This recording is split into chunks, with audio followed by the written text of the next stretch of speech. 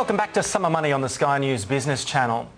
The true value of good reputation management in business is never more evident than during a crisis when the proverbial hits the fan.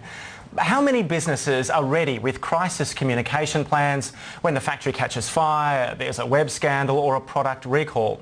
Joining us shortly is John Bissett from the Public Relations Institute of Australia.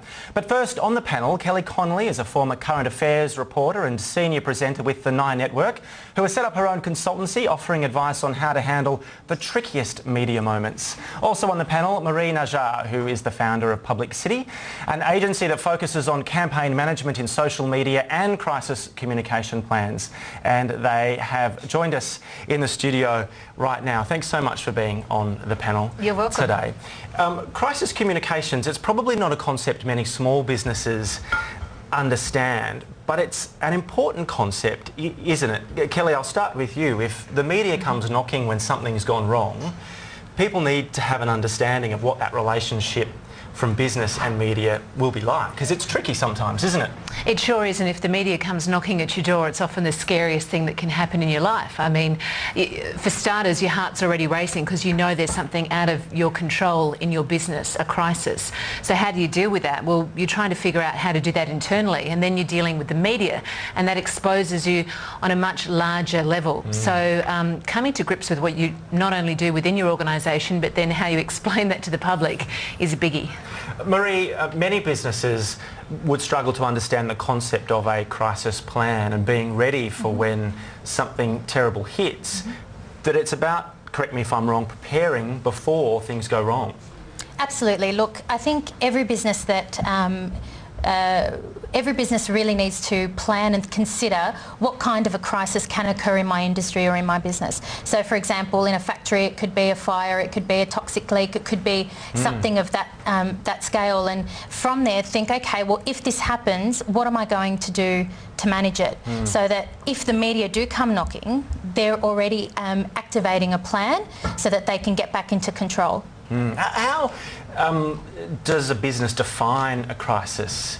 Um, if something goes wrong, businesses would be um, tempted to put their head in the sand. That's mm. bad advice, isn't it, Kellie? Exactly. I think that's often the worst mistake people make is to retreat and when the media come let's not answer their mm, calls, let's mm. figure everything out. And uh, the thing you need to do is, is, be very quick with the media in your response and very truthful in your response. Now, if you don't really know what's going to say, hi guys, at the moment, things are a little out of control. We have our experts analysing the situation and I'll give you an update in an hour. Mm. Or, or, you give them some sort of time frame uh, on which you're happy to get back to them as long as you're mm. communicating with them. Marie, how does a business define a crisis?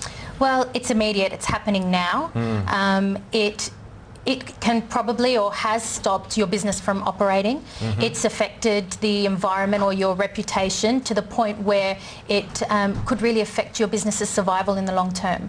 So mm. it's, it's got to be pretty large scale for it to be considered a mm. crisis. Mm. We're going to talk about some hints and tips over the next half hour or so, which will be great for small business. But I thought I'd um, build some uh, case studies. Kate Williams, our reporter, has put together some case studies of big business and how they handled crisis. And one of them, of course, was the Qantas A380 uh, near disaster from Singapore over Indonesia. Mm -hmm. Here's a quick report on that case study.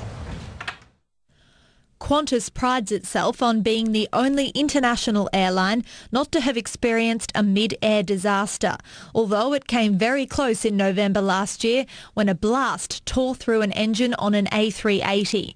The plane, with more than 450 people on board, was bound for Sydney out Singapore when the engine exploded. Debris fell on an island in Indonesia, prompting initial reports in social media that the plane had crashed. When the plane landed safely back in Singapore, Singapore, Qantas employed everything it knows about crisis communication. Key spokespeople were available at Sydney Airport to answer media questions about what had happened and why. Descriptions of the event by passengers didn't help. One described the blast as being like the moment the iceberg hit the Titanic. Qantas was upfront by acknowledging it still didn't know what caused the blast and it took another dramatic step by announcing the fleet of A380s would not return to the air until the company was confident the safety of passengers could be assured. Qantas made sure CEO Alan Joyce was briefed about aspects of the incident. He made himself available at several media conferences. Qantas management insists safety will always come first. Kate Williams, Sky News Business. Kellie, Qantas made sure their senior management were available to answer media questions from really early on in this crisis.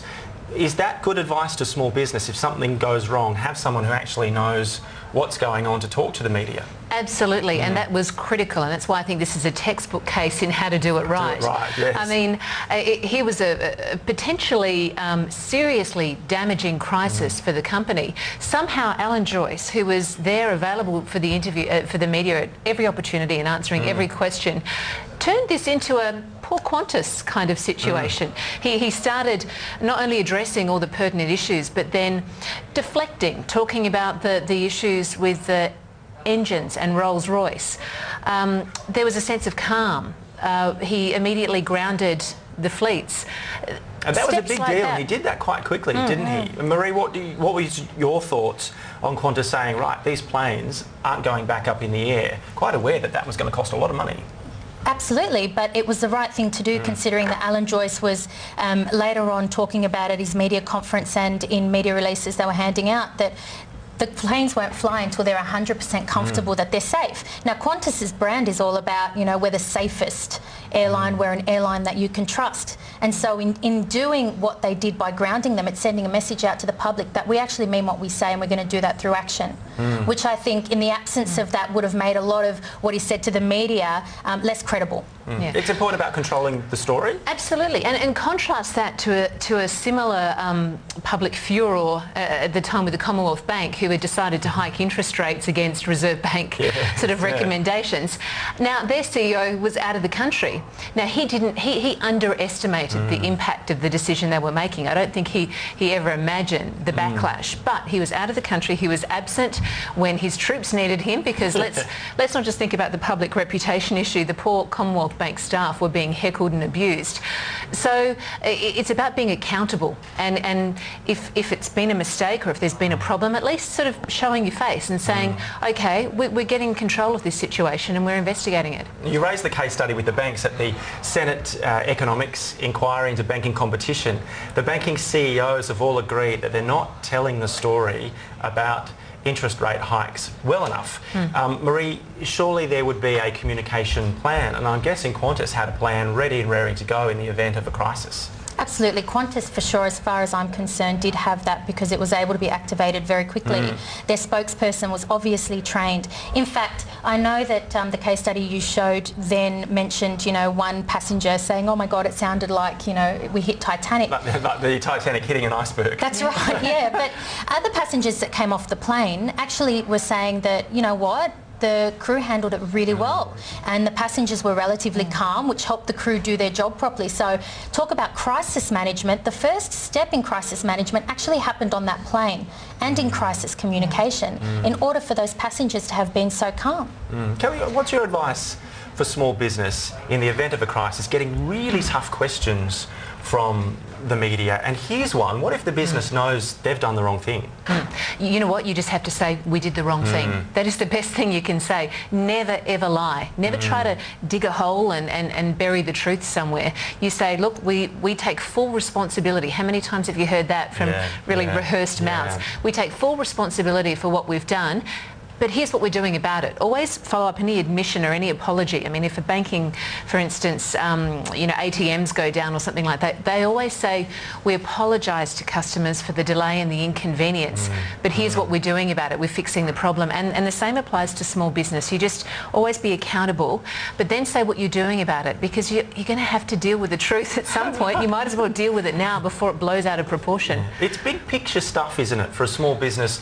If something goes wrong, not only the crisis communication, Marie, but knowing what it was that led up to the crisis in the first place and making sure it doesn't happen again? That's right, and you have to do that all within the space of an hour. if it's a crisis, the media are knocking down your door. Yeah. Um, but in the case of small businesses, it's really important to note that not all small businesses have a communications professional working for them internally.